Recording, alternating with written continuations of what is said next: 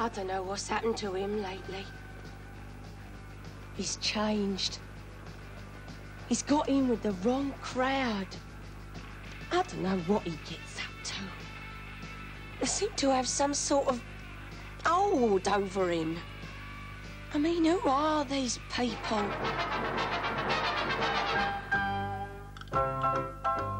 John Smith's Yorkshire Bitter. Enough to lead anyone astray.